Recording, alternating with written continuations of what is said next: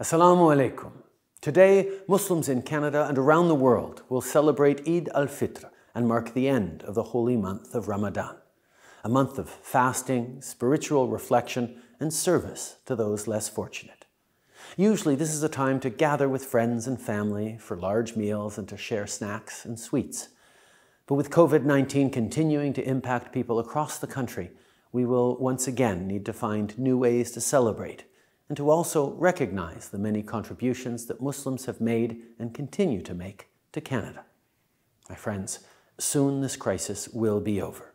Vaccines are here, and when it's your turn, I encourage you all to go get your shot.